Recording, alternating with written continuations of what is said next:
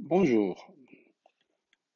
Pour comprendre la notion de tectonique des plaques, il faudrait tout d'abord déterminer la structure interne de la Terre qu'on peut réaliser en se basant sur la vitesse de propagation des ondes P au niveau des roches formant les continents, c'est-à-dire sous les continents, et au niveau des roches formant les océans, sous les océans.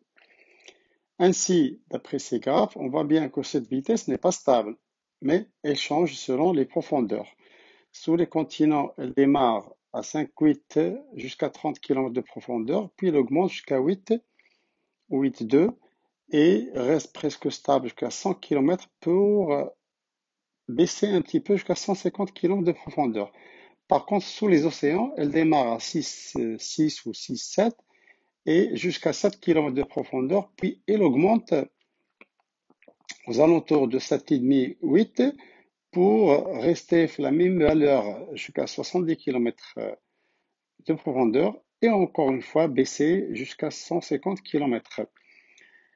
La vitesse des ondes P lorsqu'elle change, cela veut dire que il y a les matériaux qui changent, puisque la vitesse euh, des ondes P sur des granites, au niveau des granites, elle est de 5,9 à 6,3.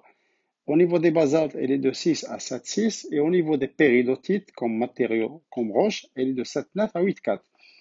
Et lorsque la variation de la vitesse est réalisée, cela veut dire que on passe d'un matériau à un autre ou qu'on reste dans le même matériau, mais on change d'état physique.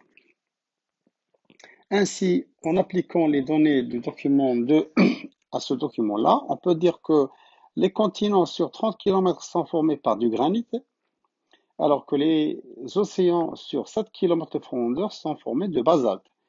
Au-delà, que ce soit sous les continents ou sous les océans, on a de la péridocite, mais entre 30 et 50 et 100, km sous les continents et 7 jusqu'à 70 km, on a une péridotite différente du point de vue état physique que celle qui va se trouver entre 100 et 150 km sous les continents et entre 70 et 150 km sous les océans.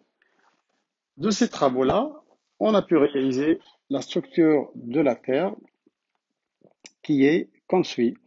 Les continents sont formés par du granit avec une épaisseur qui va jusqu'à 65 km de profondeur, alors que les océans sont formés tout d'abord par une couche de basalte avec une épaisseur qui va jusqu'à 15 km de profondeur. Ces deux euh, matériaux forment ce qu'on appelle la croûte terrestre, qu'elle soit continentale ou océanique. Sous cette croûte terrestre, on trouve une enveloppe formée par des péridotites solides, très solides même, qui forment ce qu'on appelle le manteau supérieur. Et l'ensemble de la péridotite, du manteau supérieur et du basalte et du granit, c'est-à-dire de la croûte continentale, forment une enveloppe solide appelée lithosphère. Sous cette lithosphère se trouve une enveloppe formée par des péridotites fluides ou plastiques et qui forment ce qu'on appelle une enveloppe appelée asténosphère. Les matériaux ou la matière de la péridotite au niveau de l'asténosphère est capable de se déplacer à l'état solide de la matière. Ainsi, notre Terre, qui se caractérise par une température très élevée au sein de son noyau par la fission des, atomes nucléaires devrait exploser vu qu'elle est couverte par une couche très très solide, à savoir une lithosphère d'une épaisseur très élevée. Cela ne s'est jamais réalisé parce que tout simplement, cette lithosphère n'est pas en un seul morceau, mais elle est découpée en plusieurs morceaux formant ce qu'on appelle tout simplement des plaques tectoniques. Ici, par exemple, on a le morceau représentant la plaque africaine et à ce côté-là, on a le morceau représentant la plaque américaine.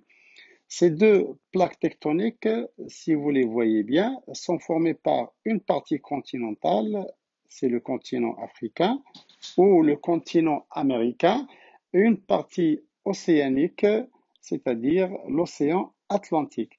Par contre, au niveau de cette plaque appelée la plaque Nazca, elle est formée tout simplement d'une partie océanique.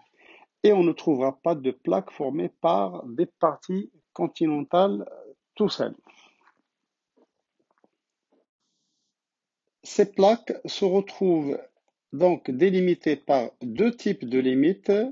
Des limites qu'on retrouve au milieu des océans et formant ce qu'on appelle des limites de divergence. Ce sont les endroits qu'on appelle les dorsales médio-océaniques. Et un deuxième type de limites qu'on appelle des limites de convergence qui peuvent être des limites entre, comme ici, une partie continentale d'une plaque et une partie océanique d'une autre plaque, ou ce sont des limites qui se trouvent entre deux parties continentales de deux plaques. Sont des limites de convergence et au niveau desquelles vont se former tout simplement les chaînes de montagnes. Ainsi, lorsqu'on regarde la répartition des chaînes de montagnes à l'échelle de la planète, on trouve bien que les chaînes de montagnes sont toujours situées à la limite de ces limites entre plaques tectoniques, ce qui fait tout simplement les chaînes de montagnes sont formées par le rapprochement des plaques tectoniques, comme on verra un peu plus, loin. Euh, maintenant, euh, on sait bien que, par exemple, l'air, il se déplace dans euh, une chambre. Par exemple, lorsqu'il fait froid et on allume un cheminée, l'air froid d'en bas va chauffer, il va monter vers le haut parce qu'il devient moins dense. Et une fois en hauteur, il va se refroidir et il deviendra plus, plus dense et il va retourner en bas. De même, lorsqu'il fait très chaud, on utilise un climatiseur. L'air des euh, hauteurs va devenir plus froid, donc plus dense, il va descendre.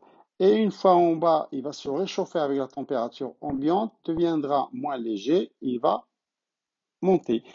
On obtient ce qu'on appelle des courants de convection thermique, c'est-à-dire la matière pourra se déplacer lorsqu'elle change de température. Ainsi, cette asténosphère, comme je l'ai dit tout à l'heure, est une asténosphère plastique, c'est-à-dire que la matière a la capacité de se déplacer. Ce qui fait que Ici, la température sera une température basse. Et lorsqu'on va s'enfoncer dans les profondeurs, la température deviendra élevée. Lorsque la température augmentera, cela veut dire que la densité va baisser et ici, la densité va monter.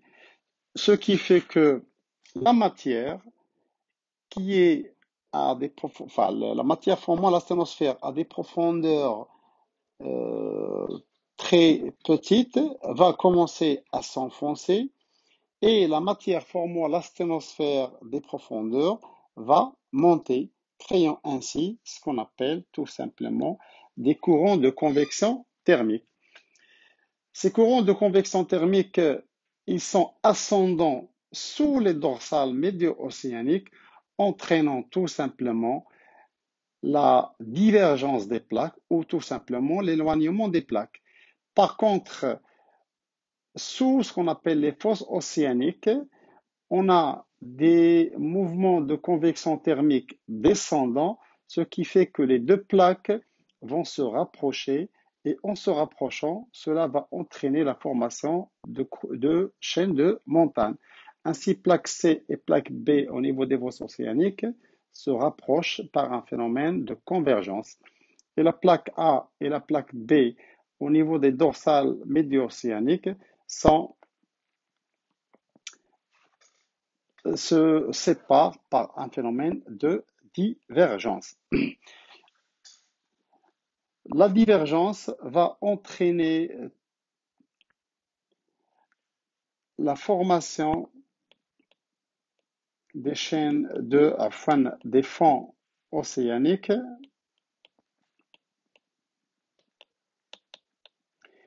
et leur expansion. Tandis que la convergence, elle va entraîner la formation de chaînes de montagnes de type subduction lorsqu'on a une plaque océanique qui se rapproche d'une plaque continentale, puisque la plaque continentale ici, elle pousse dans ce sens. Ou on pourra obtenir des chaînes de, de collision lorsqu'on a deux plaques continentales qui se rapprochent entre eux toujours par ce phénomène de convergence.